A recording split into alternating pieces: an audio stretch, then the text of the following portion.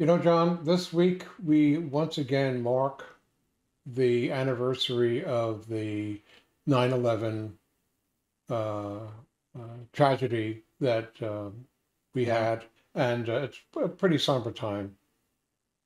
Yeah, it it's uh it was a terrible terrible event in history and it, it happened to us because I think we we ignored the evil in the world. That's that's my personal opinion. And I, I got to tell you Art um I, I know they a lot of people talked about 9/11 on Monday but I don't think enough people talked about it, and I don't think it was covered enough on the news. And I, I think people in the United States have lost. We've lost a certain feeling of unity Hmm. that brought us together when we realized these terrorists were attacking all of us. Um, and I, uh, we have.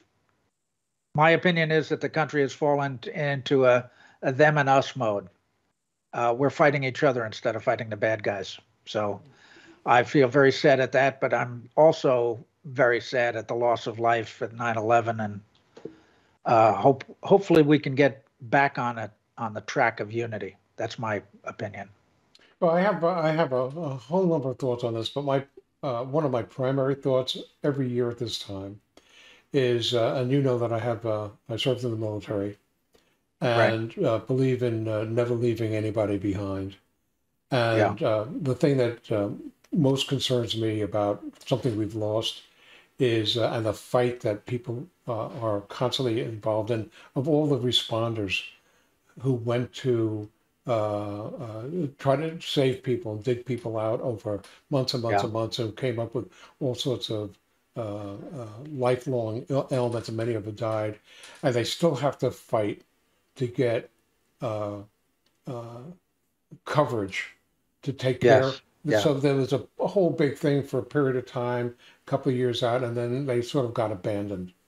And Yeah. uh, so, in a lot of ways, um, uh, that probably bothers me as much as anything else.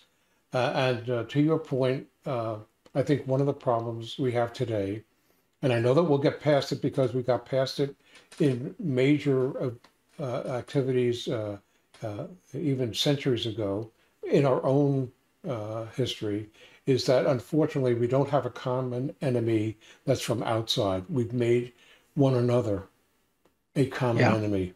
Yeah. And how do we go overcome that? Uh, beyond the purpose of today, but that's just my thought, is that Yeah. we somehow have to figure out how not to make one another the common enemy. I agree entirely. For more on Celebrating Act Two, visit our webpage, follow us on Facebook, subscribe to us on YouTube, and tell your friends. Celebrating Act Two is the user manual for the second half of your life.